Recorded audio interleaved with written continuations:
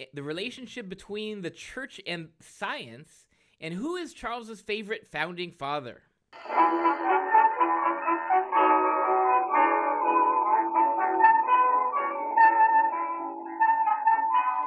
Welcome to another episode of Off the Menu, now being broadcast and podcast on the Crusade Channel. Talk radio the way it should be at crusadechannel.com. I'm your host, Vincent Franchini from Tumblar House, here with a reactionary, Charles Coulombe. Reactionary? You mean like an opponent of progress? Definitely. You mean someone who stands in the way of the march of history and says, stop? yeah, like Tiananmen Square. Some...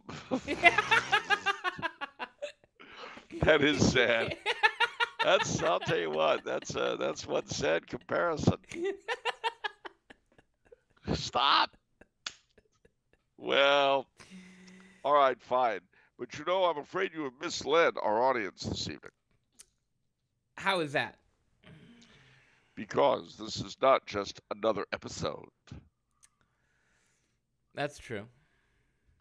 Come on, tell the people what it is. You it's can do it. 300th episode of Off the Menu. 300 episodes, ladies and gentlemen. Can you imagine? Eight years in the making. 300 episodes. And what what things we've seen in the past eight years? We saw Brexit. We saw uh, President uh, we saw President Trump elected. We saw President Trump dissected. We saw President Trump dejected. We saw the COVID lockdown. We saw the hot, hot summer of burning love. And we saw the mostly peaceful protesters at the Capitol building. We saw the death of Queen Elizabeth II. We saw the coronation of King Charles III. And through it all, ladies and gentlemen, you have been with us, our gallant supporters, patrons in particular, but audience in general. I don't think we had intended, uh, we set out really with any specific time frame in mind. We just started doing it. Uh, and lo and behold, we're doing it eight years later, 300 episodes. Uh, so, for all of you guys who've uh, stuck with us during all this, and all of you who've come on since at different times, thank you, thank you, thank you, thank you, thank you, thank you. Or to put this another way, Thanks a lot. Mm, yeah. We're at that time of year. What time of year? Funny you should ask. The time of year when Christmas is slowly winding down with the month of January. Because we're doing this in real time on the night of the 20th. Tomorrow is January 21st. January 21st is the anniversary of the murder of King Louis XVI. And starting today, or actually yesterday, throughout France and in various other places, Belgium, Italy, and a few places in the United States, requiem masses for the repose of the soul of King Louis XVI, often accompanied with readings of his will and his vow to the Sacred Heart, his consecration of France to the Sacred Heart. But the 25th is coming. What's the 25th, you ask? I'm glad you asked that question. It's the birthday of Robert Burns, the national bard of Scotland. In many ways, the forerunner of Sir Walter Scott. And that's about the worst Scots burr you'll ever hear. But at any rate, as a result, all over Scotland and the Scottish diaspora, in England, Wales, Ireland, Canada, Australia, New Zealand, South Africa, the United States, India, Singapore, wherever there are enough Scotsmen to do it, there will be Burns suppers for the rest of the month. And these always follow a very rigid guideline, including the address to the haggis and the uh, uh, the toast to the immortal memory of uh, Robert Burns the toast to the lassies, the toast to the laddies. Usually the haggis is piped in, there's a procession. There's lights, there's lots of scotch whiskey, tatties and neeps. uh, potatoes and turnips, in other words. Uh, oh, it's great fun. But that's centered around uh, the 25th, which was Robert Burns' birthday. The 28th is the Feast of Blessed Charlemagne, my name day. But wait, there's more. It has a liturgical uh, uh, mass, as most masses tend to be, a proper mass to it, uh, which today is primarily to be seen in Aachen and Frankfurt. And it's a good time to remember the father of Europe, the founder of the Holy Roman Empire. But wait, there's more. On January the 30th is the day that King Charles I of England, Scotland, Ireland, and the American colonies was murdered by Oliver Cromwell. And at his statue in uh, London Trafalgar Square, there'll be a wreath laying by the Royal Stuart Society. There'll be a mass organized by the Society of King Charles the Martyr at Banqueting House, very close by, which is actually where he was murdered.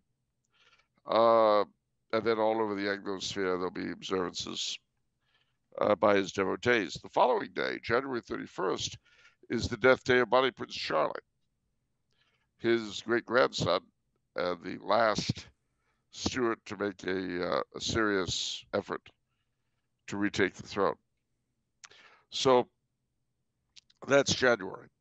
When January is finished, though, we've got the 1st of February, which is Candlemas Eve, about which, let's see, what what is uh, what is next? Uh, what's what's next week?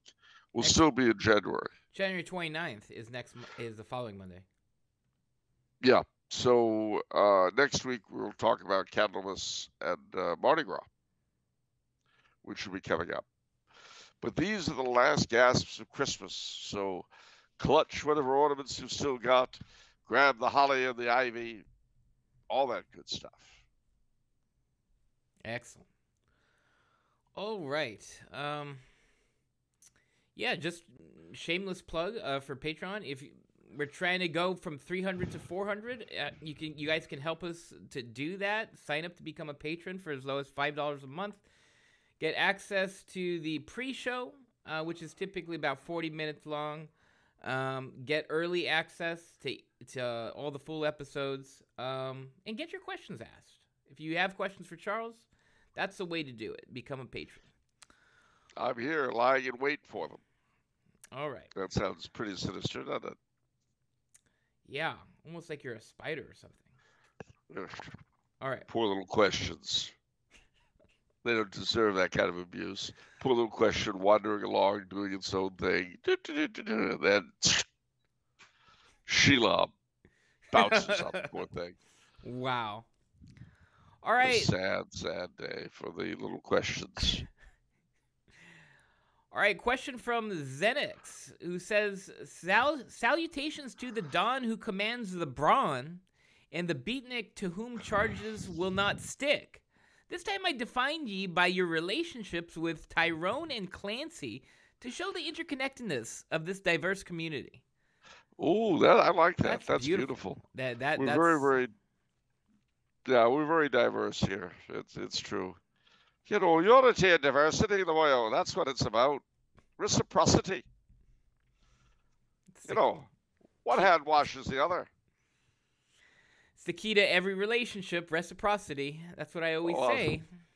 The whole city of Arcadia runs on reciprocity. That's actually It's actually a line. Do you know who I quoted? Oh. Reciprocity is the key to every relationship. It's um, Captain Dudley Smith from Who? L.A. Confidential. Oh yes, that's right. That's right. and and I'm I'm in turn reminded of uh, Mama uh, Morton from Chicago. Right. You know, she comes out and she says, "Ask any of the chickies in my pen. They'll tell you I'm the biggest mother hen. I love all of them, and all of them love me because the system works. The system called reciprocity." and then she goes on to explain at great length that you know when you're good to mama, mama's good to you.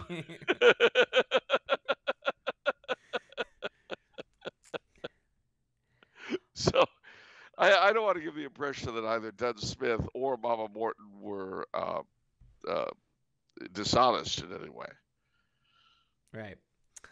All right. Um, would Charles please comment on the Catholic reaction to Romanticism and Neoclassicism as movements charged by questionable emotion and reason?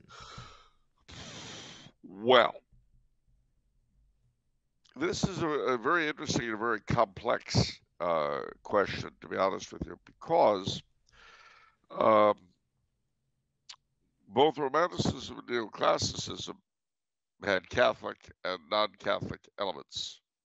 So let's unpack that, shall we?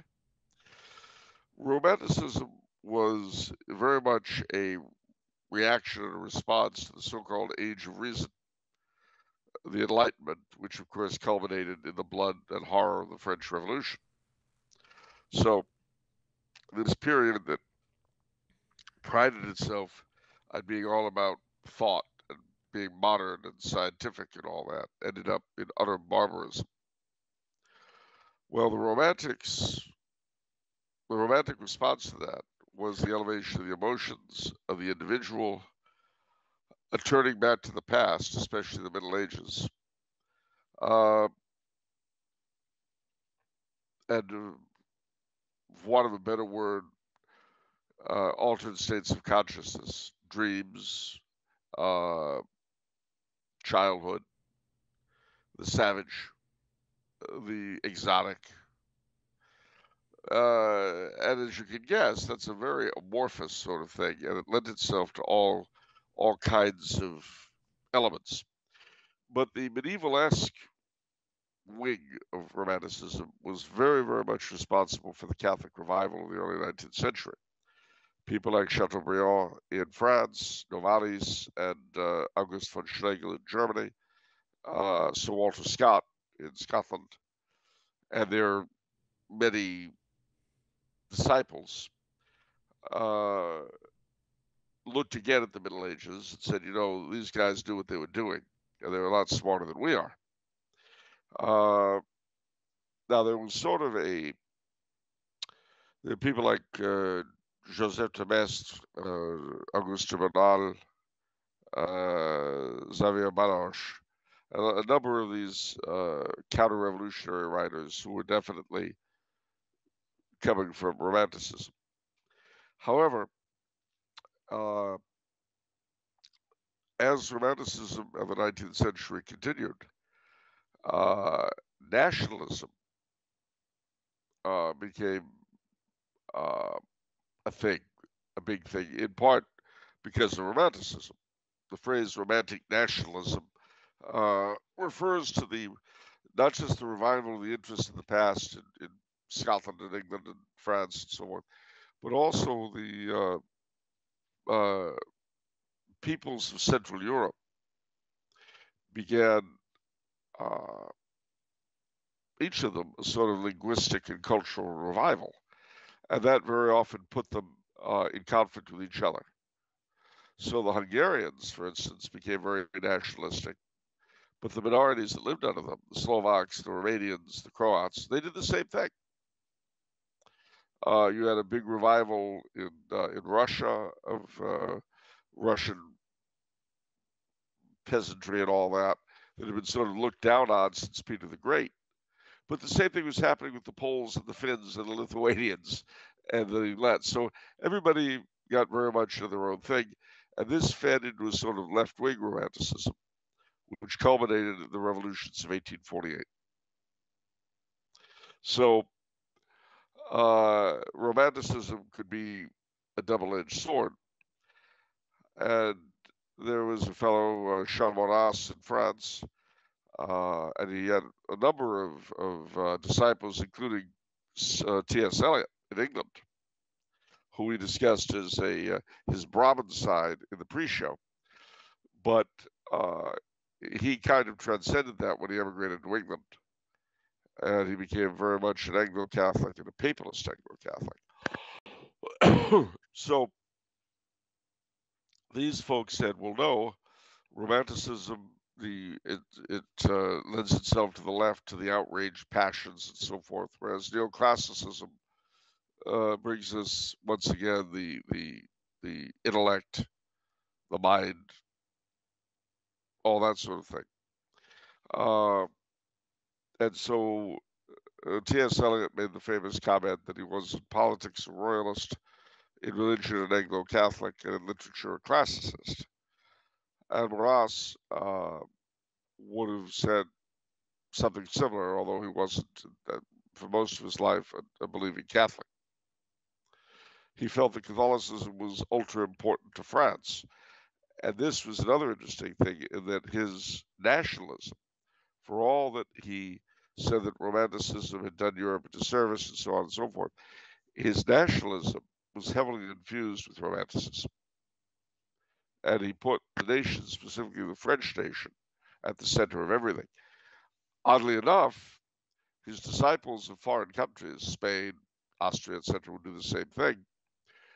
But while he was very much a French nationalist, he was also a Provençal. And he was a great believer in the separate identity of the Provençals as opposed to the rest of the French. He saw France as being sort of a, a jigsaw puzzle of lesser nationalities. So he would have been very much against Provence or Brittany or French Flanders seceding from France. But he'd been all in favor of their cultivating Provençal, Breton, Flemish in speaking. In other words, uh, he attempted to transcend the tension between small nationalities and larger political groupings. And that was something that his Spanish and Portuguese and uh, other disciples also wrestled with. Most of his disciples were devout Catholics. Uh, now, unfortunately, he was not. And he and a number of his disciples, they tend to reverse, they tended to reverse reality when it came to the importance of the nationality. And what do I mean by that? Well, the real importance of the French, the Spanish, the Portuguese is their reflection in their own ways of the Catholic faith. That's the importance of French culture, Spanish culture, Portuguese culture. But for Maurras and his followers, not all of them, but a lot of them, uh, the importance of Catholicism was that it embodied the spirit of France, of Spain, of Portugal. You have the same thing with Russia and Orthodoxy as far as the Slavophiles were concerned. And again, the believer would say, well, no, the nation is, is all important, but only to the degree that it reflects the faith. The faith is not important to the degree that it reflects the nation. So they would say that Maurras had it the wrong way around. It was on that basis that L'Action Française was condemned by Pope Pius XI in 1926. This was actually a very bad move. It was reminiscent of the Ralliement of Leo XIII in the 1880s, but it was worse. Cardinal Billot, who was a great supporter of L'Action Française, resigned the red hat over it. T.S. Eliot uh, did not come into the Catholic Church because of it. Uh, and one of the very first things Pius XII did when he succeeded Pius XI in 1939 was to quash the condemnation. But in that 13 year period, members of l'Action Française who refused to leave the movement uh, were denied Catholic burial, denied the, the sacraments. It was a terrible injustice. You know, one of the sad things about Pius XI, when you look at his dealing with l'Action Française, with the Cristeros and so on, few popes have written as wonderful things as he did. And yet, his political sense, when it came to practicality, was very often not good. But can't have everything. So, at any rate, uh, L'Action Française was somewhat uh, discredited by that adventure, but it got a lot back when Pius XII rehabilitated them. But then came World War II. And like l'Action Française, like the entire Catholic right in Europe, were forced to choose between resistance and collaboration. And in the beginning in France, when it seemed that uh, Vichy was really in charge, it was a Catholic esque regime, and so on, uh, a lot of very fine people joined it. But as the war went on and the the obvious, I mean, Pétain and the rest of the Vichy regime, regime had in mind the regeneration of France. That was the last thing the Germans wanted, certainly the last thing that Hitler wanted.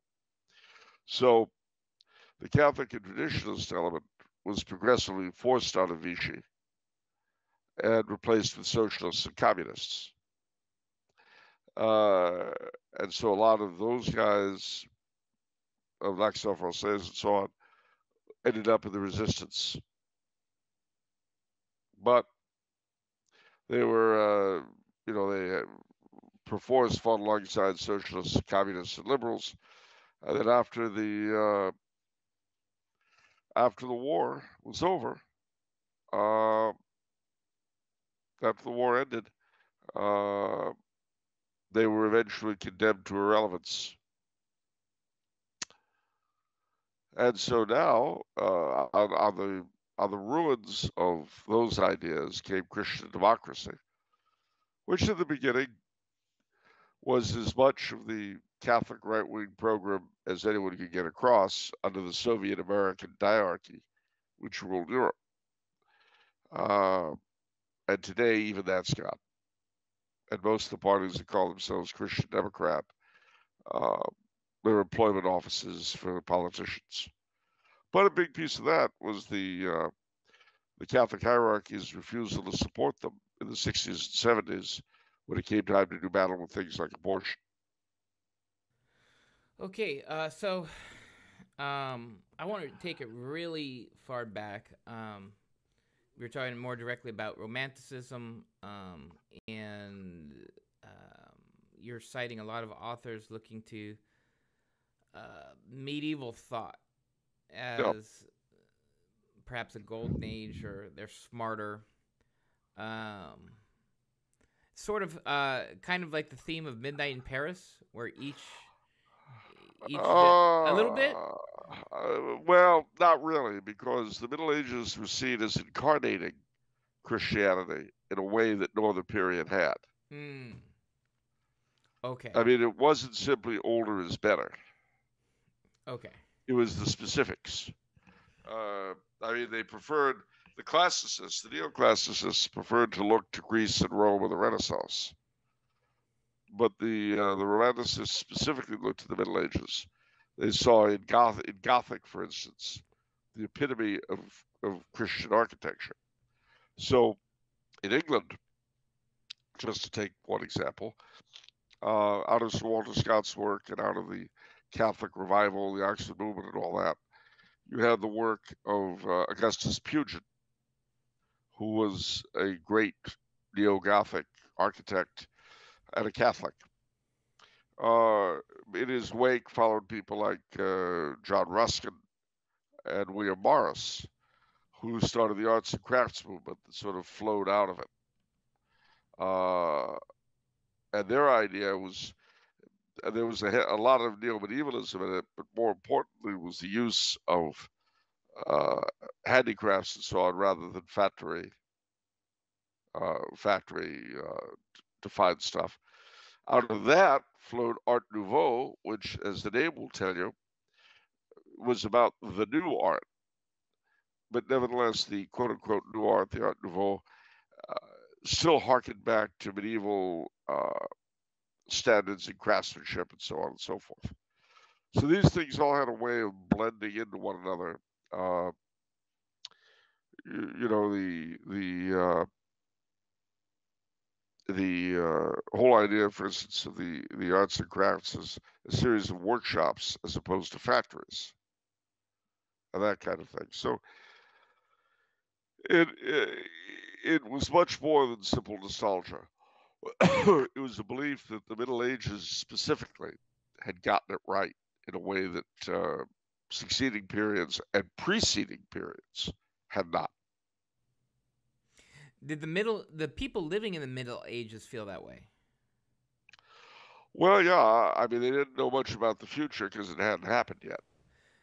But certainly they believed that the uh, conversion of their various countries had produced the best possible civilization.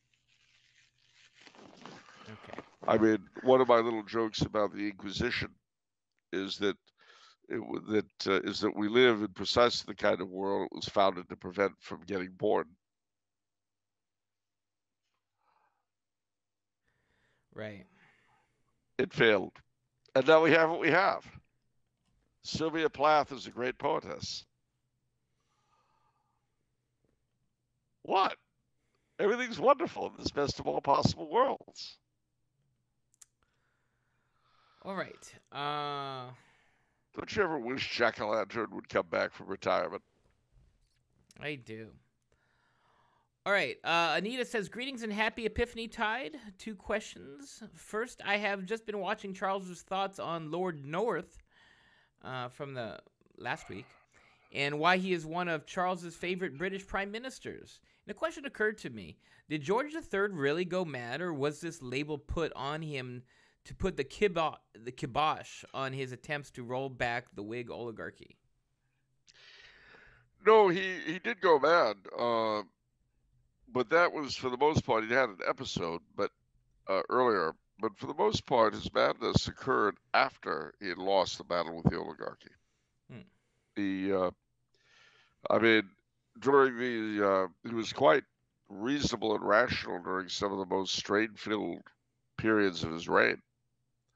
But the problem with porphyria, which is what they think uh, he had, is that as you get older, it gets worse, and that's what happened to him. So, I see. All right. Uh, what is the mysterious incident in episode 299 that you comment on but do not specify wherein Charles ended his television career forever? oh well, that was sort of a come to Jesus moment. Way back in 2005, I was hired by ABC to uh, comment on the papal ceremonies, the papal funeral, uh, the uh, conclave itself, the inauguration uh, mass of Benedict XVI. Roughly a two week period, more or less. And this was a great job because they sent a car for me every day to take me to the studio, and that was nice. And they uh, they were pleased with my commentary. They were pleased with what I did. So the week after the inauguration, they decided to put me on one of these weekend shows where you've got uh, talking heads basically commenting on different things. And in, in, in this case, there were four of us scattered around the country, or five of us. And there were two moderators, one in Washington, one in New York. So it was going along fine, you know, what are the prospects for the future, this, that, and the other. But then the question came, I was asked, what do you think of the late John Paul II's views of the United States? Well, I knew what I was supposed to say. What I was supposed to say was something along the lines of the poor dumb Polak didn't understand how wonderful our democracy is and how great we are, and just didn't really get our perfection. Well, this was a live nationwide feed, which meant I couldn't be edited. So I decided I would do something honest. And I started out by looking at the two gentlemen and saying, well, you know, we Americans are extremely provincial people. We don't understand ourselves very well, let alone foreigners. The late Holy Father had had a real education, the like of which most of us in media never get. And he had a real life, you know. He'd, he'd been in two resistance movements. He'd been a, a miner. He'd been an actor. Again, very much unlike those of us in the media. Plus, he traveled all over the world. He'd seen all sorts of people. So I think it's fair to say he probably understood us a lot better than we understand ourselves. Well, the looks of the two of them, I you talk about icy, just and not another question was asked for the rest of the hour of me. And I just sat there and I, I knew what I had done. And when we were finished, the cameraman said to me, he was a black guy, and he goes, Made a cool now is just great. Absolutely great. You ain't never gonna work here again, but that was just great. And of course he was right. They never asked me back. So that was 2006? Five. 2005. Um, so but who's counting? So that's almost 20 years ago. Yeah. And so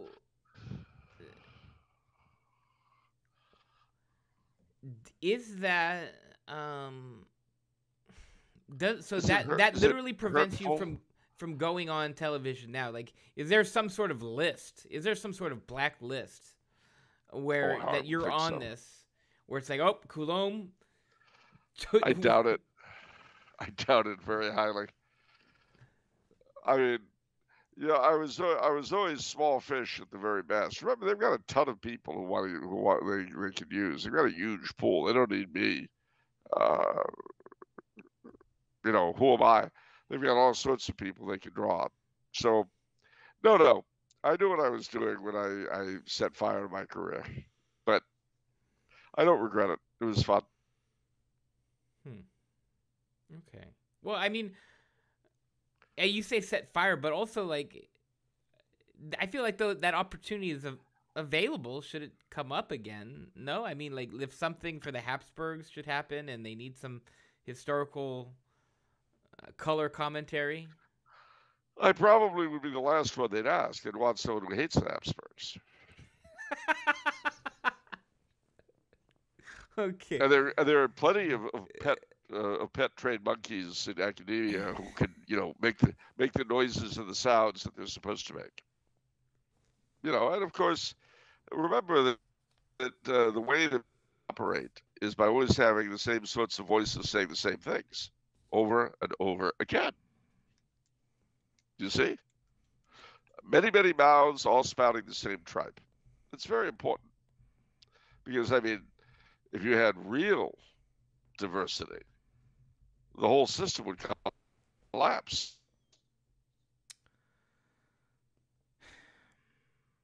Why? I mean, why? What if people started thinking?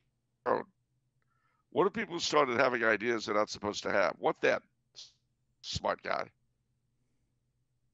It could disrupt anything from voting patterns to consumer patterns.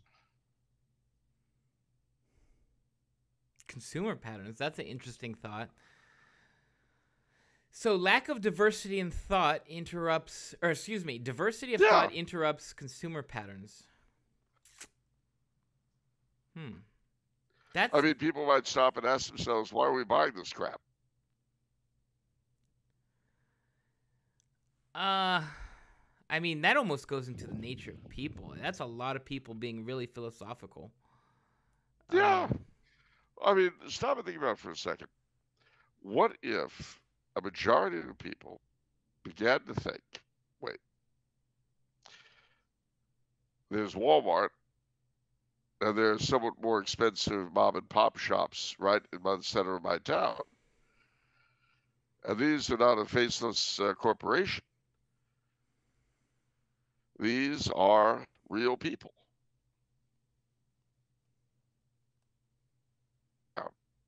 How would that look? I mean, what if people stopped shopping at Walmart and, major chains and started, as they say, shopping locally? These mom and pop stores. It would be horrible. Think of all the uh, think of all the disruption of the lives of the innumerable employees of everybody from Walmart to uh, Amazon. That'd be terrible. I think you're presuming. I, I think you're making a lot of presumptions. Um, that- uh, of of what people don't do. See, I think you've made a presumption that people aren't aware of why they're buying from Amazon. I think people are Well, perfectly uh, aware that why they're buying from Amazon and Walmart. Well, they, they want the lowest price. Of course they do. What they don't think about is what the actual expense of the lowest price really is. And it, it doesn't. I, it's almost. I'll give you. Uh, let me let me give you an example of what I mean. Uh, now it's gotten a little bit better in a lot of places, but in the 70s and 80s, one of the big, big phenomena around the country were the growth of malls, and usually these were on the outskirts of towns. And they were filled, for the most part, not entirely, but for the most part, with chain stores. What this did in town after town all across the country was empty the downtown. So you would have these often very beautiful architecturally, but empty, dead town centers, which, depending on the size of the town, would become a focus for crime and you know all sorts of problems. While everybody shopped out at the mall. Now, it was cheaper, that's for sure. Chains will always be cheaper. But more of the money that goes into the community, into community stores, stays in the community. And it makes it it makes it possible for people to be more independently employed. Because you know what happens. It's not just the vast majority of people shop at chains. The vast majority of people are employed by them. And it's very difficult to have an independent commercial retail section. I mean, you do it, but it's nothing. It's nothing like the size of the uh, the number of people employed by the chains. The one thing to be said for it is that all this stuff is cheaper, but there is a cost. It's a long-term cost, and people aren't think, used to thinking of the long term.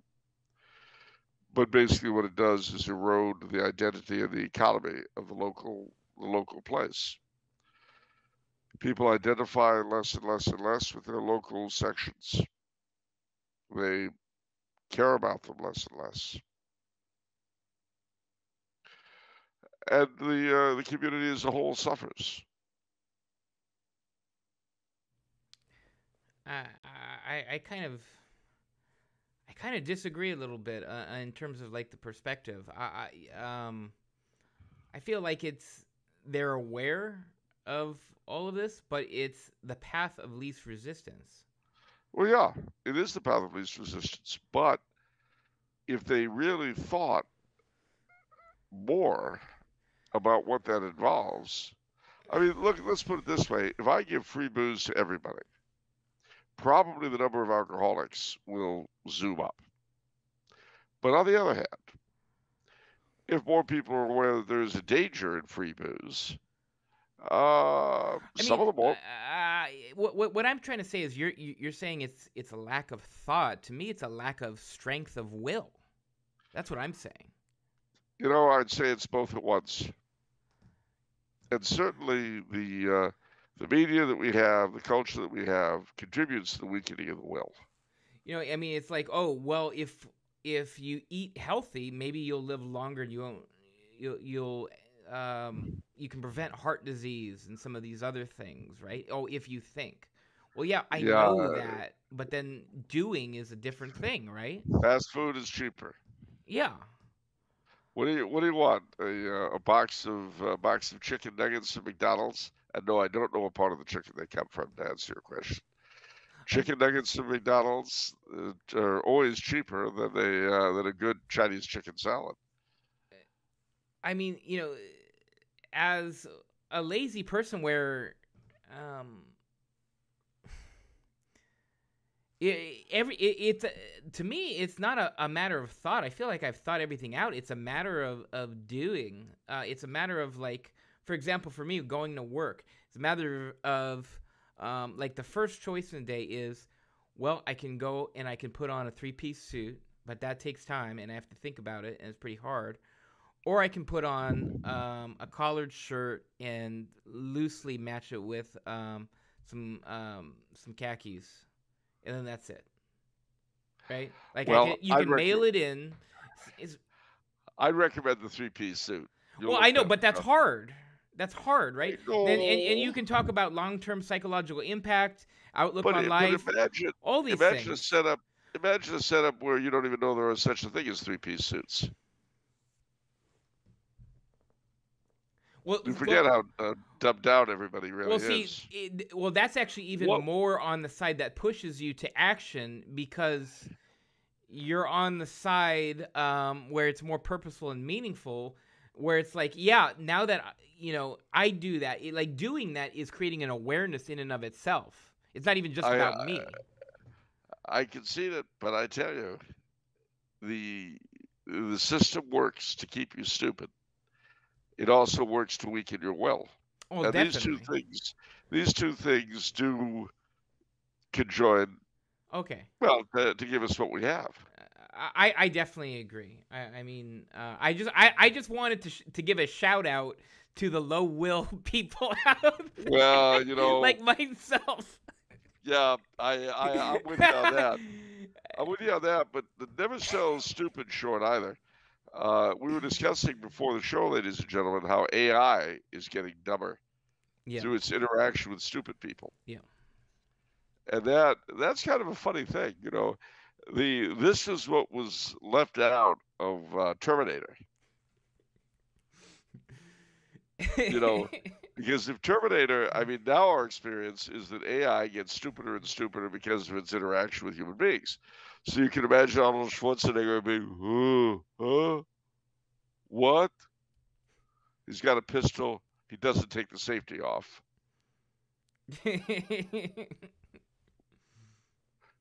Don't work. Actually, no one took the safety off Arnold Schwarzenegger. Himself, I mean. yeah, there, there's not a lot of intelligence to put into the robots right now. No, no. it's not. I think it's an alien plot.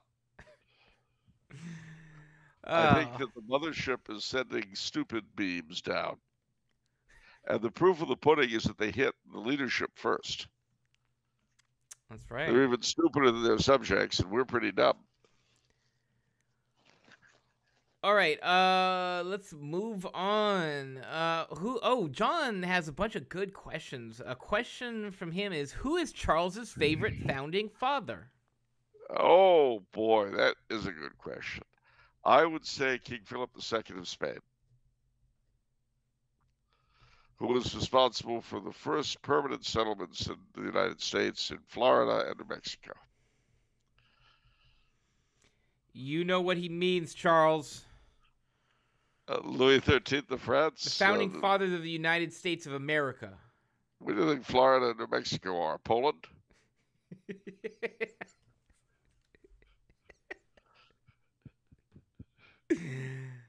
okay, so let's make this very clear. Okay. Here's going to be your choice of people. You're going to need to pick your favorite. John Adams, Samuel Adams, Benjamin Franklin, Alexander Hamilton, John Hancock, John Jay, Thomas Jefferson, Richard Henry Lee, Robert R. Livingston, James Madison, George Mason, Robert Morris, Peyton Randolph, Roger, Sh- Roger Sherman, and George Washington. Take your pick. Washington. Why? Why not? First in war, first in peace, first in arts. no, he. Uh, I mean, after all, he started the French-Indian War that uh, uh, ended the conquest of my people by the Anglo, which is why we're doing this show in English. So, you know, there's that. Uh, he broke his oath to the king, so there's that. He did voluntarily give up power, and actually, George III made the comment when he got the news that Washington had given up uh, power in the army and got back to Mount Vernon. Uh, George III said, If this be true, the General Washington is the greatest man of the age. Hmm. So I'm not going to dissent from the uh, the king's view. Okay. Uh, John also wants to know your thoughts on Generation X and Also, the greatest, ge- the greatest generation or GI generation. We've wow, heard, so we've, we've heard enough about the boomers already, Charles. Let's let's talk about these other ones. So your parents' generation. we've heard enough about the boomers, Yeah. but we were misunderstood. Nobody understands that a whole generation suffered to make a better tomorrow for those who would be younger than us. Why are you rolling your eyes? You're supposed to look happy and agree. Say, that's right. You're not doing it. You know, I, I can smell the cynicism 6,000 miles away. You look at my generation as a bunch of, of, of self absorbed frauds. Self-absorbed frauds. Yes. I don't know if they're frauds. I don't know if they. I don't know if I would say that. I don't know if you guys intended to be frauds. Of course, we, I mean, what? I mean, you wanted your. I mean, you ended up selling out on all of your initial values. Or a lot of We them. did not. I feel like. Abortion, free love, total total immorality, a complete lack of standards. Uh, the How are we sold corporatism and the corporate messaging, uh, and all that, all of the consumerism. What the, what happened to that? Well, that was the way of uh, that was the way of accomplishing our higher goal of no Well, no wh- wh- standards and no what, what happened to the nonconformity? Well, okay, well, you know, you gotta you gotta you gotta break a few eggs to make an omelet. You know that. you, you, you can't have everything in this life. Okay. Uh, we got rid of standards and morals. What more do you want? oh, sorry. Okay. You think it was easy? That's you think good it enough was for easy me. to do? Okay. All right.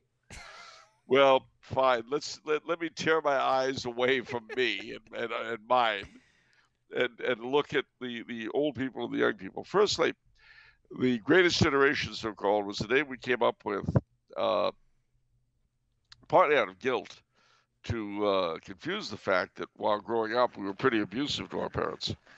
No, I'm saying we and us. I wasn't, but in general.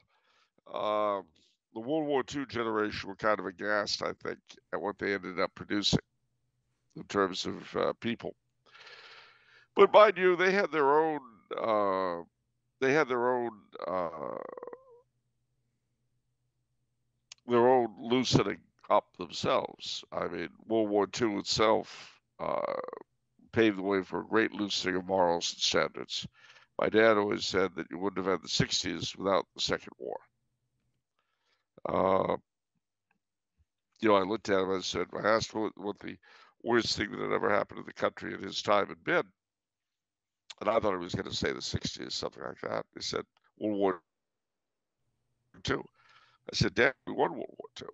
And he looked at me like I was a moron and said, Son, you win a war the way you win an earthquake. The social damage that conflict did to the United States has never been repaired. And he ticked off a number of things, but he made a good point, made a good case. Incidentally, January 21st, uh, tomorrow, if he was still alive, he'd be 98. So I'll just ask our listeners and readers and viewers to uh, remember Guy Coulombe in your prayers. Anyway, so we uh, the the greatest generation too. Uh, I mean, I remember when Brother Leonard Mary invited me to uh, accompany him to his reunion from Harvard, the class of 1942. And I remember his shock when he asked if the class dinner would be black tie. And the uh, the organizer said, "Oh, black ties, certainly not." Hmm. They'd already, you know, oh, the very idea. Oh, oh, oh. Which kind of annoyed the old man because he uh, he was all set for a black tie dinner, but obviously his contemporaries were not. Um, Yeah, let's switch around this question a little bit to give it a different structure. Um, so you seem to have an opinion. Uh, I, I do. I've where, got several actually. Where that each subsequent generation is a little dumber than the prior one, right? To some extent. By and large. By yeah. and large. Yeah, I mean, like something is lost on each subsequent generation, right? I mean, is it Yeah. like like pieces falling off of the greater whole? Is that fair to say? Yeah, I mean, they, they, they know less, they learn less. Uh, part of it, I think, you know, eh, the in a, in a real sense, the apex of American nationhood was 1865 to 1941. That before that, we were a, uh, a nation of semi-independent states. After that, we were an empire. But in terms of being a country like other countries, that was pretty much about it. And it was during that per- period that uh, a lot of our best literature came out, a lot of our holiday celebration styles came out. In other words, a lot of what it was to be an American emerged in that short period. Uh, after the uh, after the war, after the Second War, we had the transition to being an imperial power, but we really were not suited for it for a number of reasons. Um, and the the democratic ideal became really corrosive in a way that it hadn't been before. The dumbing down, the equality, etc. Uh, and the left pretty much absorbed the uh, cultural life of the country without any real opposition at all from the quote unquote conservatives because they they were really classical liberals and so were more interested in economic and political freedom than they were in the culture wars. Now, mind you, I, I'm painting with a broad brush. Obviously, there were individuals who weren't like that, but uh, by and large, you couldn't imagine an Eisenhower Republican uh, wanting to reform the university system. Sure. So uh, what I wanted to get to is um, instead of a degradation from generation to generation, is um, what aspects have improved as we've gone from greatest generation to the boomers to generation X to the millennials? Oh, the only things that have improved are technological, communications, medicine, etc. The knowledge Uh, of that. Yeah, and the the the use of it. I mean, obviously, we were in touch with each other in a way that would have been impossible even when I was young. I mean, look at look look at the show we've got. I, but I, I'm talking about character attributes. You know, Uh, like i- I in can't. as I, a people. I can't think of any. I, I thought you had told me uh, one that was interesting because we were talking about um, what comes after millennial. I don't know if it was millenni- young millennials or um, I'm on the older side of the millennials. Oh, I see what you're saying. Well, eh, there there is uh, the you've got Generation X, you've got the Millennials, Generation Z, uh, or Z. There, in a lot of the young people of that sort, they don't have the illusions that my my Right. generation had. Right. That's what I was trying to get to. Where um we were talking about it, and I remember you said to me, um because I felt like somebody lit a fire in the youngest generations that the older generations don't have. And you said No, something to me like, Vinny, all they've known is Obama and transgenderism. That's all they know. Yeah. That's all they know, and yet there is a uh, there is a because what we're pushing is so unnatural to the human spirit, to human nature. There is a pushback on the part of some in, in every successive generation, and I suspect that that will become greater and greater. The downside is that it doesn't have a great deal of education, a great deal of knowledge about this stuff.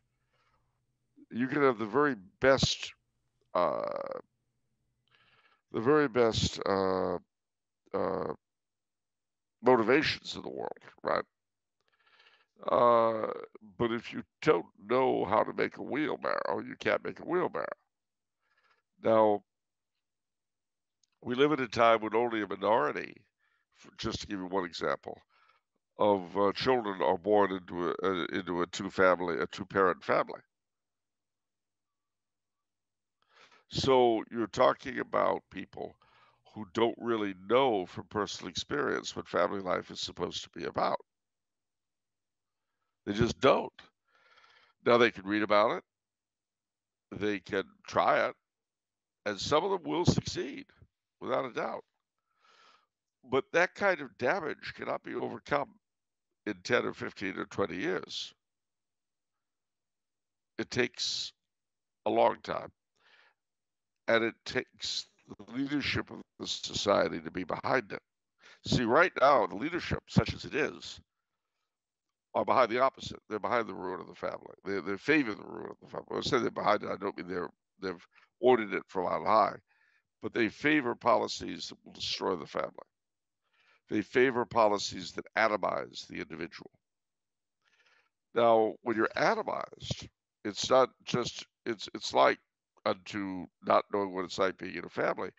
We don't know what it's like to live in communities, really we don't know what it's like. We don't have that sense of dependence and uh, obligation toward, dependence upon and obligation toward our neighbors. You go out on the street, you look up and down. Do you know anybody in those houses? No, of course not. And they don't know you. Now there are places, of course, that's not not true, but there aren't many. We're all very atomized. And so we don't really know what it is to live in a functioning community of, of neighbors who look after one another, even if they don't like each other. We don't know what that's about. I feel like in the younger generations, because there's so much missing, there is this very deep, very profound yearning. But they, but, but but they don't know how to. They don't know what to do. You they know? don't. And the man who will, the man who will really accomplish something, is the one who can somehow get it across to them, and who comes up with a way to bring this stuff to them. And again, we don't know about being in communities, so we don't know what it is to be uh, uh, citizens of a county or a city. We don't know what it is to have a civic pride. We don't know what it is to be a loyal subject of a state or province and a country. What's that? I mean, you've got half the uh, leadership in the world of all these various countries attacking patriotism as fascism. Well, you know, when you're ruled by somebody with no brain who lo- who thinks like that, how do you regain? I mean, I mean, I, I had a fellow who uh, asked me a very good question. I I read the uh, the Ten Commandments of Chivalry, and one of them is, Thou shalt love the land in which thou wast born. Mm. And hmm. he asked me flat out, What does that mean? The concept had never occurred to the guy. He's, he's a brilliant moron. But the concept the land in which you were born because you were born there. You know, uh, again, our masters have no patriotism, not not national, not uh, not uh, local, not multinational. You know, they have no. Uh, it's not just that they don't uh, love their countries; they don't really love humanity. You know, they don't love the greater cultural blocks of which every country is a part. They they're they're just about their own worthless selves, and they have done their best to see that their subjects reflect them. We're all about us. It's all about me.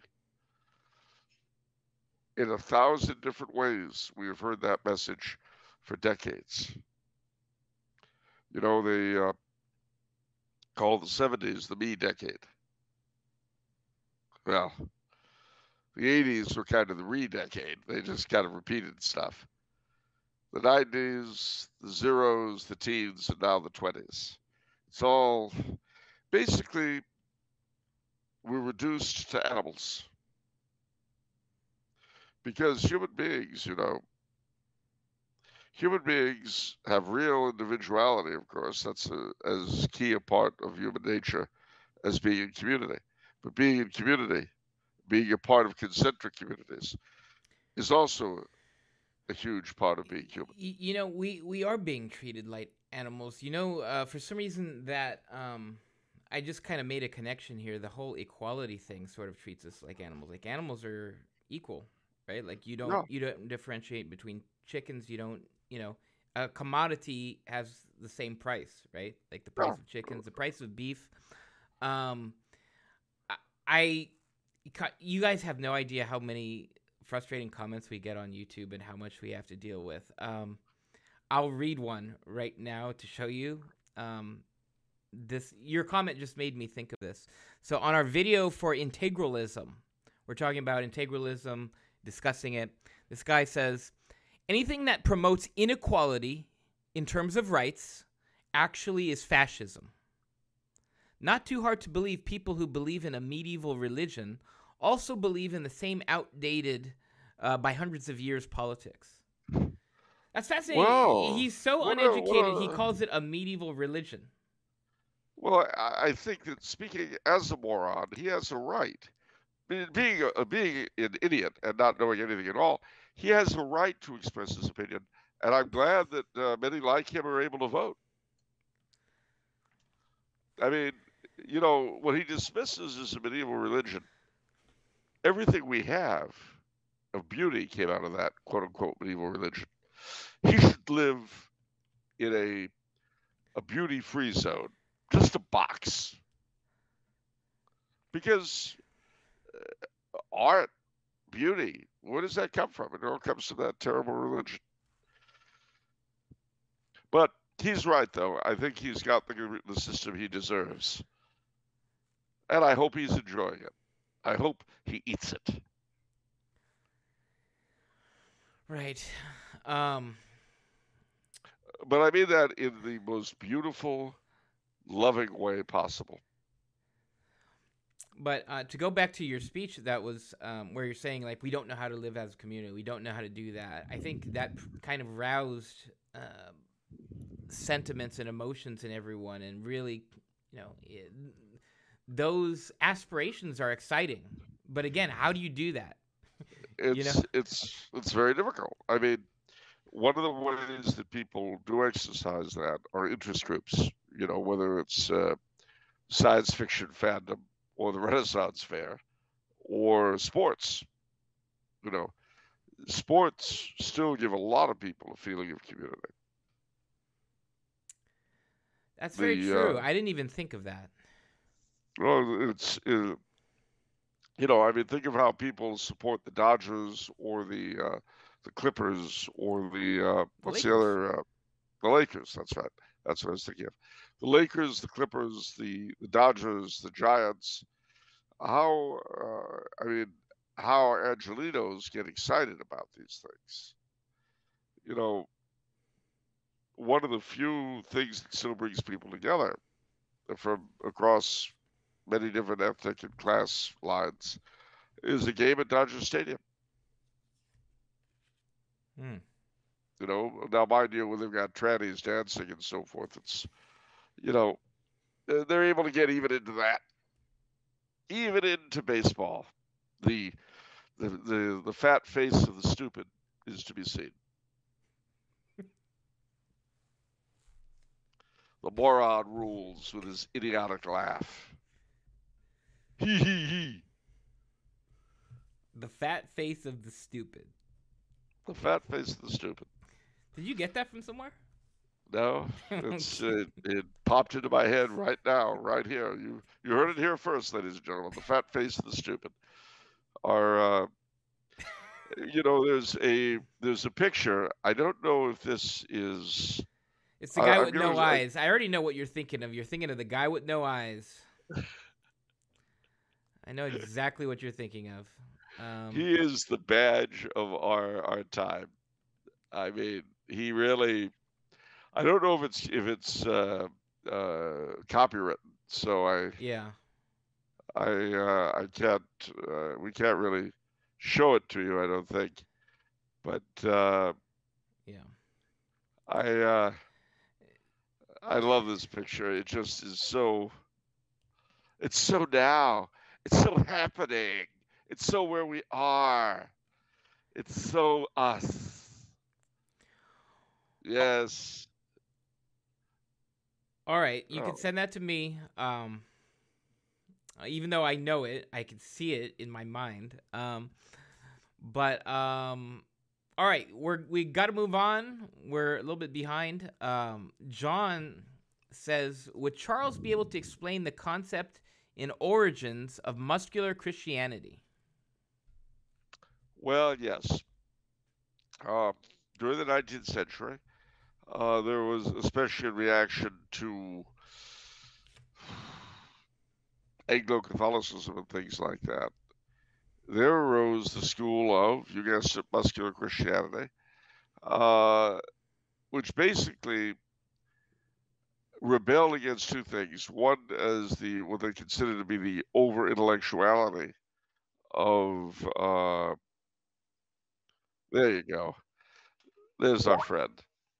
The over intellectuality of uh, uh, theology and so forth. And the other was the uh, the other. The, you see, he's laughing. He's happy. See, see how happy he is.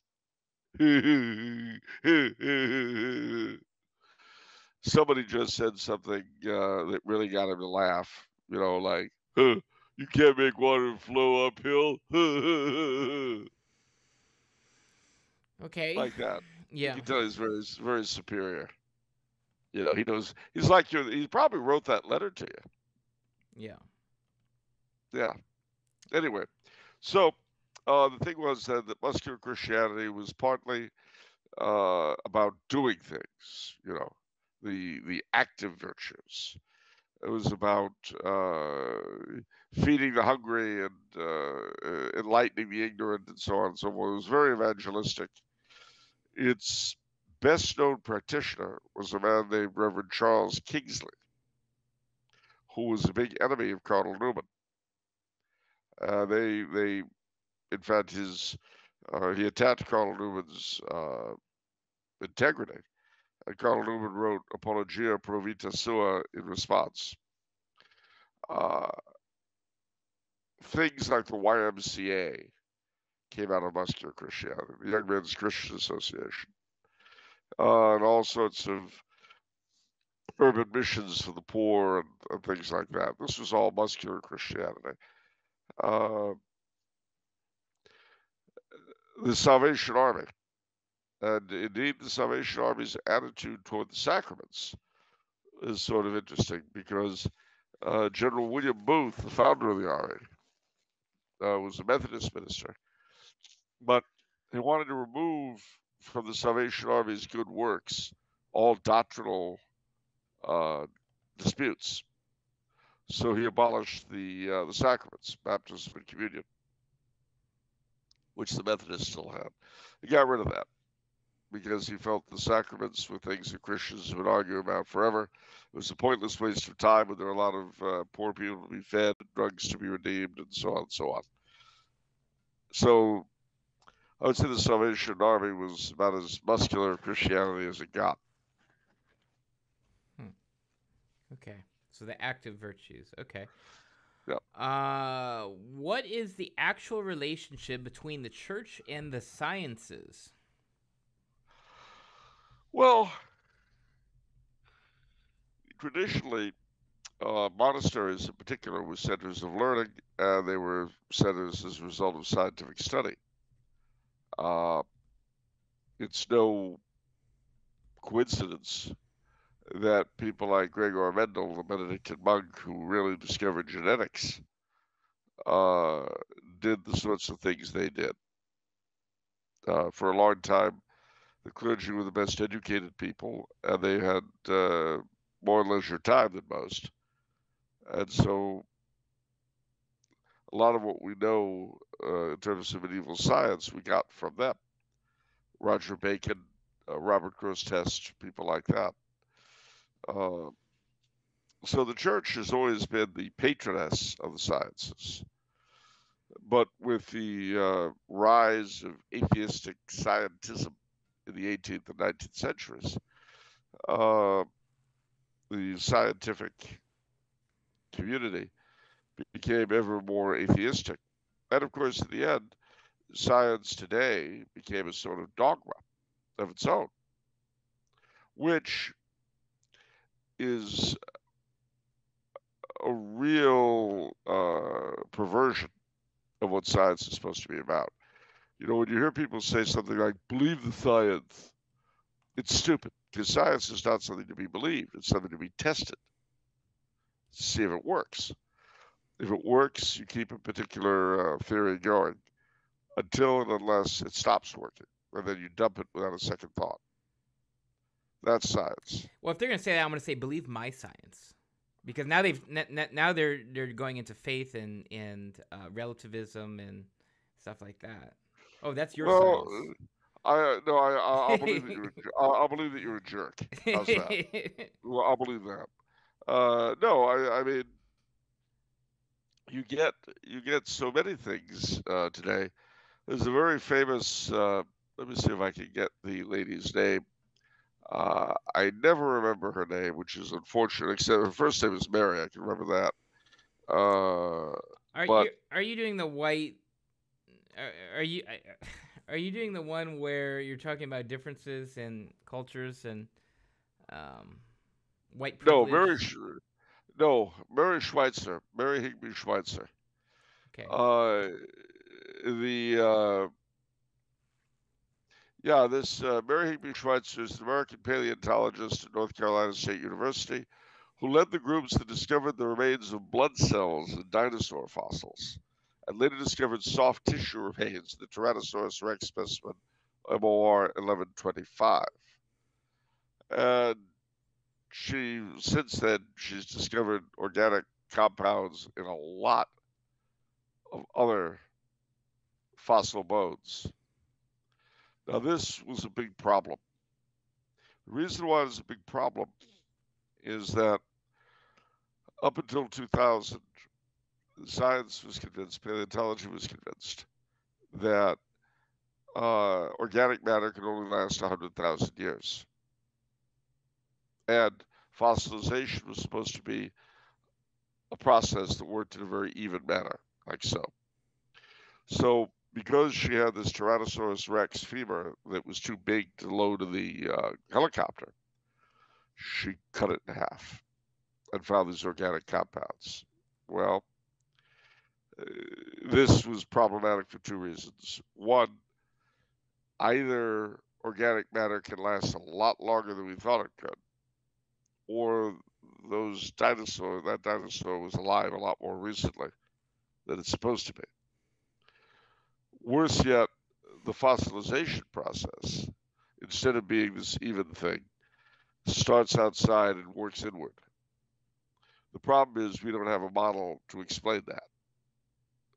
In other words, we don't know what fossilization is. We don't know how it works. We don't know how long it takes. We don't know anything about it, except that it occurs. We know that much. Now, what really makes me laugh about this particular reality is that whenever I mention it to a scientist, they inevitably say, Oh, so I guess you believe the world was created in 4004 AD. And my response is always the same No. What I'm saying is, I don't know. And more importantly, you don't know. Your mouth moves. But you have no idea how old the earth is. You have no idea how old life is. You can't, because all of the presuppositions your views are based on have been destroyed.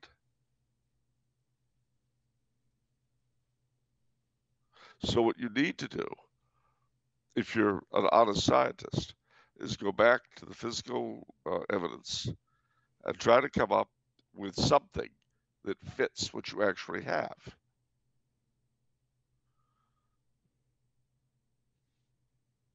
It's that simple. I feel like it's easier to go on pretending Well, so do they. and, and to have all the answers. I don't So think do they. I don't think scientists don't like admitting not knowing. No, of course they don't. Nobody does. I mean, who in his right mind likes to say, you know, all this crap I've been peddling to you all these years, it's crap. I don't know what I'm talking about. I mean, who, who, who are you going to get to say that happily? Good point. And you know something else? Not only am I really ignorant, I'm also dishonest because I'm going to keep pretending. now, I, I, if you are going to get into him and he's ignorant, you're really not going to get into him and he's dishonest on top of it. All right, final question today is from Will, who says, "Which centuries of church history does Charles think were the best and the worst?" Thank you. Well, that's a good question. The best, well,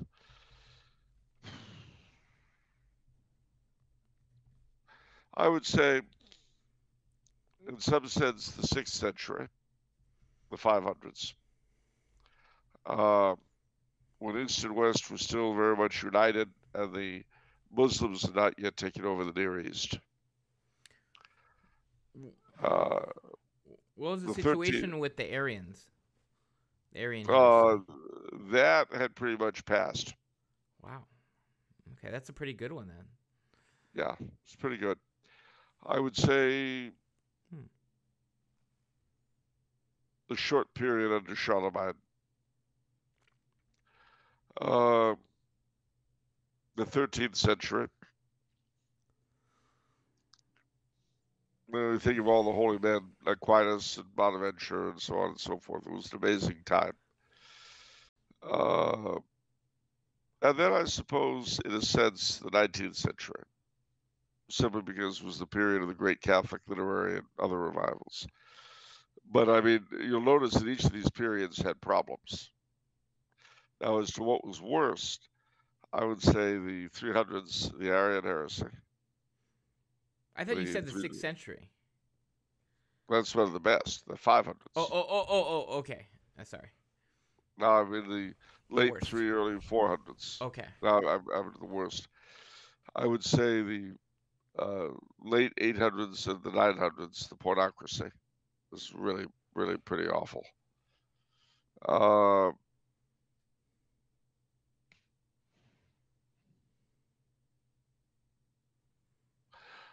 and so far, the 21st century.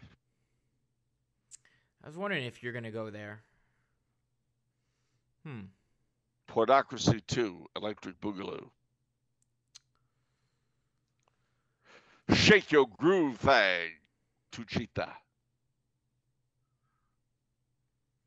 I think the whole thing is gonna be very short-lived. To be honest, it seems so unsustainable. Um, it really Well, does to me. I, I agree. I mean, I think, if anything, uh, fiducia uh, uh, supplicans, uh, I'm not, you know, people have come up with their own version of trash can custodians, and each and every one of them is obscene, so I'm not going to do it. okay. I'm not doing that. But this is a family show.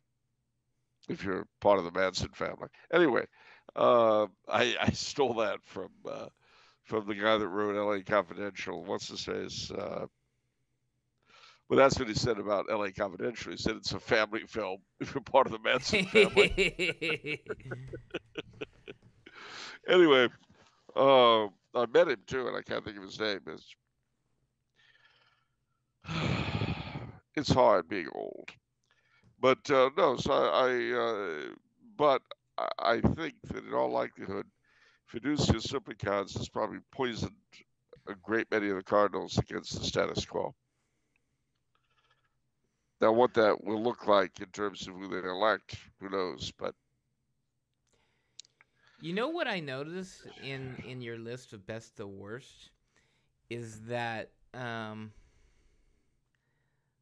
because I, I I was looking at the spacing, and in your list, in your two lists, there were no adjacent best worst centuries, except the 19th and 20th centuries.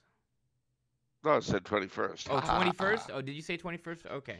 So you wouldn't say 20th. No. I don't I don't know if that's fair to say 21st. We're we're we're a quarter of the way in. Um right? I mean Yeah, but we've got we've had just in the past uh, in the past uh, 11 years we've had as much crap as the whole pornocracy uh, poured together flowing out like a sewer. There's a, uh, you know, that could be a modern day hymn. Love is flowing like a sewer, flowing over you and me. Love is flowing there so chunky, like a sewer, we'll be free. That kind of that really worked, actually. Yeah, I think so. We could sing that as our as our uh, our modern hymn. Love is flowing like a sewer. Yeah, flowing over you and me. Love is flowing, oh so chunky, Uh, like a sewer. We'll be free. all right. Um, What? we're out of time, Charles. How can Let's you say wrap it up. Let's wrap it up. 300th How can you episode. Yeah. How can you say we're out of town? This is the 300th episode. Surely it should be at least 300 times longer. okay, let's go. All right, we're just getting started. Get a cup of coffee. Let, let's Yes. let's Settle in, gang. settle in. We're gonna be here a while. This is, only- this for the 300th episode, ladies and gentlemen. We're gonna have a uh, we're gonna have an off the menu marathon. 24 hours nonstop. How do they do it, ladies and gentlemen? Well, that would be fun. A, uh, a off the menu marathon. yeah. That- We actually, as I remember years ago, we did kind of a marathon. We uh, we recorded like three or four episodes in one day. right. Yeah. And then we offloaded them in in individual episodes, unbeknownst to the the public. Yeah, who didn't even notice we were wearing the same clothes. So, uh, I don't know. But seriously, though, uh, yeah, I, I do feel though this is a very special occasion. 300 uh, episodes, ladies and gentlemen, as opposed to having an episode, which is a totally different thing. You know, when you're having an episode, that's Yeah. that's not identical to, you know, producing an episode. Yeah. It's you don't roll on the floor so much, and, you know, strike your your your breast with your hand and kind of roll your tongue around. You don't do that No. when you're producing. When you have an episode, that's more all that kind of thing. Yeah. But rather than having an episode, uh, I I think that uh, when we started this show, Barack Obama was president of the United States. Benedict the Sixteenth was Pope.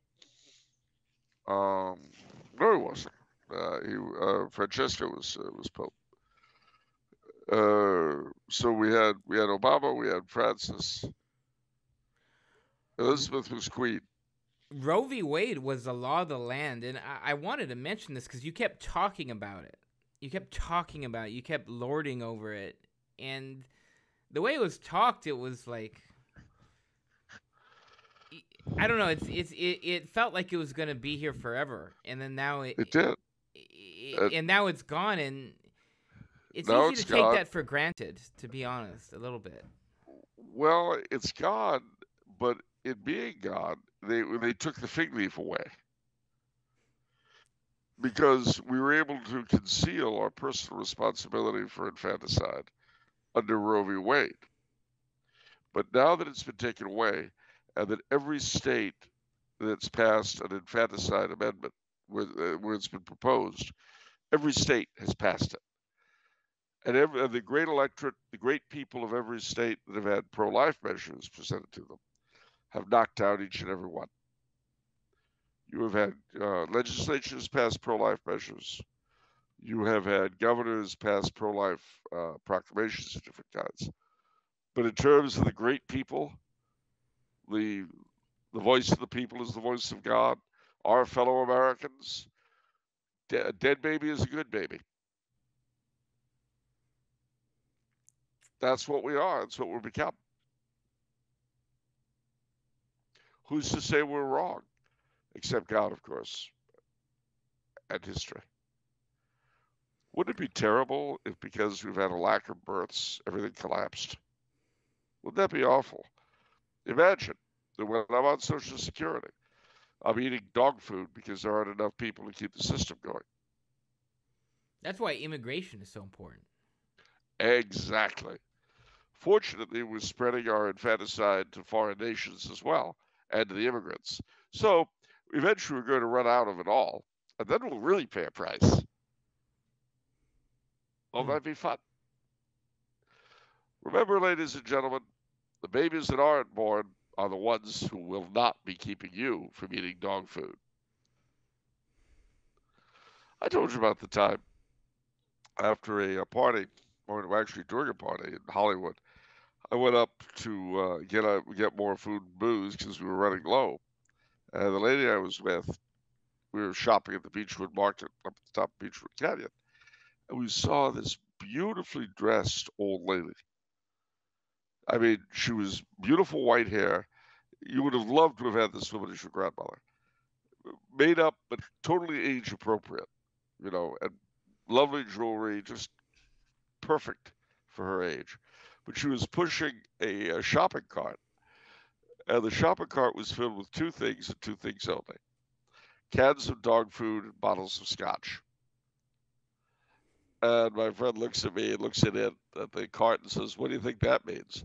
I said, It's easier to keep down when it's marinated. Oh. Behold our Uh, future, ladies and gentlemen. You see, how do I put this? If you murder the next generation, you're not going to have a lot of a future of your own. I don't know how much clearer one can make this. You, you know, um, th- th- this reminds me of a different message. Someone we kind of haven't talked about this on this show. I forgot what what um, what people were talking about this, but it was the notion that basically you're gonna have a, a heck of a lot of pissed off women who because they don't they've abandoned their you know ability to to have kids and then they don't have kids and and then that will be a societal issue is handling Well, that, eh, that fallout what do you think It will that? be. yeah No, I, I think it's I think it's true, and I, I think it's the counterpart of the problem in China, where you know the government for a long time had this one-child policy, so a lot of female infants were murdered, and there's a horrible uh, disproportion between the number of men and the number of women in China.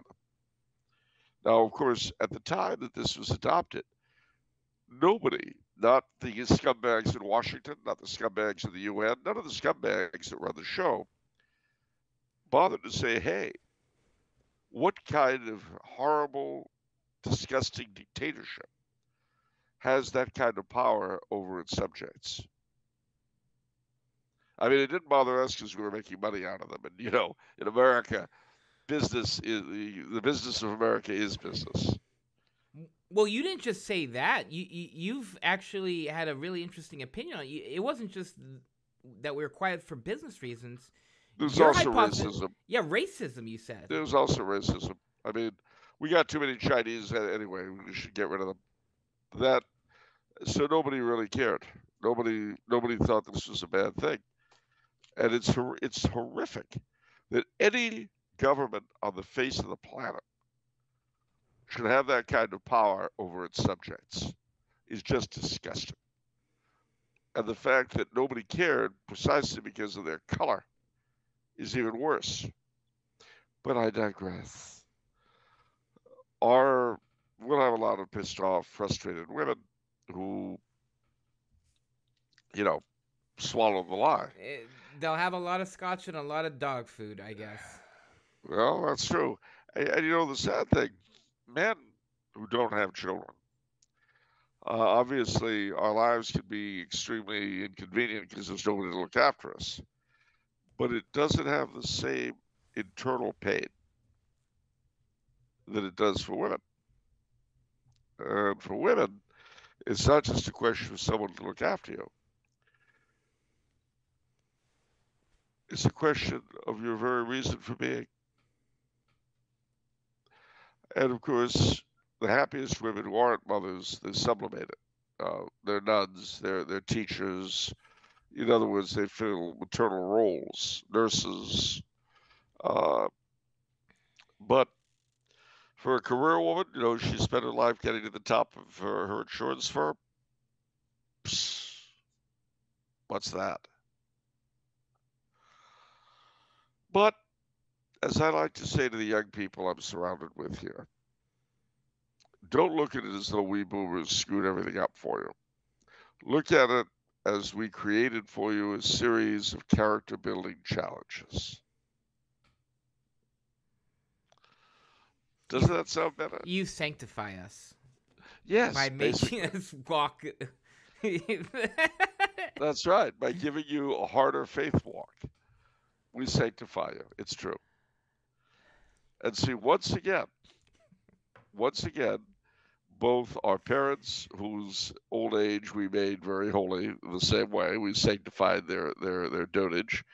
Similarly, we're sanctifying your youth and middle age. And once again, we get no credit. Is that true? I don't know. I mean, I feel. I don't know about that. we get a lot of opprobrium. We don't get any credit for what we've done for you. It's not what we've done to you. It's not, gee, you know, the boomers gave me a, a chance to become a better person. We don't get that. We don't hear that. You hear complaints and whining. Maybe the boomers were sort of like baked into that de Montfort prophecy where the, the, the saints of of the later times will will tower over the the old saints like the cedars of Lebanon to a shrub. Maybe that's all made yeah. possible by the boomers. It could be true. It could be exactly true. And then you really have to thank us. Just, I mean, basically, what you've got to bear in mind is that ours was a generation like no other. We were so misunderstood and so unappreciated and so underloved. And you know, the sad thing is people say, oh, the boomers were the best educated. Their, their, their youth was when the, the country was the wealthiest. You don't know what a burden that was for us. You don't know how hard it was trying to live up to the expectations that that, that kind of a background gave us. You know, it was hard. It was very hard. Uh, Bill Bierstadt gave me a book on the darker side of Laurel Canyon in the 60s.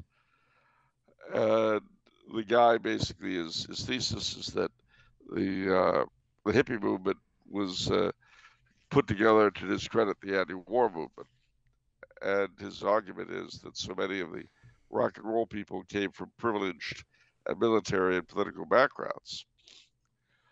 What I see there is not that at all. I don't see conspiracy. I see a whole generation deserting what their fathers had built up. But that desertion, you don't understand the pain they went through having such privileged upbringing. It was so hard. I mean, how how can you even live with that? So we had to break free of all restraints. You know, I, I'd feel better if you were looking really impressed right now. I'm waiting. I, I'm waiting for you to deflate like a like a hot air balloon or something, because all I'm hearing is this praise and eh, of of the greatest generation, uh, which is the boomers, I guess. Yeah. Well, I mean, we didn't ha- we didn't have to win a war or survive a depression. We didn't need to to be great.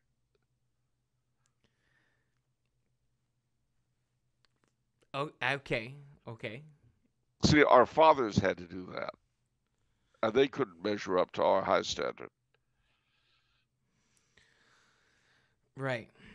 Because see, they never had the self acceptance, the level of self acceptance that we have.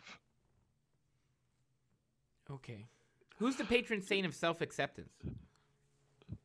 Judas. Judas. Oh man. yeah, you want deflation? You just got it. Oh man. The uh, but you know, you you look you looked slightly uh, physically ill when I was going through that particular song and dance. Yeah, I don't know. My body, it's strange. It has a negative physical reaction to when you start talking about the boomer generation. Um, I don't know what's going on there. But um I think that's sad. You know, I think if there's any one anthem, and there are actually many, but if there's any one anthem for my generation, it would be I'm just a soul whose intentions are good. Oh Lord, please don't let me be misunderstood. okay. Okay. Wha- All What? right. Uh that's going to do it for this episode everyone. I, I... Remember, I- if it's Monday, I, it's on the menu. and what about the soul you save? it may be your own, even if you're a boomer. But what? Why do you have that look of physical revulsion? I'm smiling. Bye guys. we'll see you on the 301st episode. See you then. Ciao.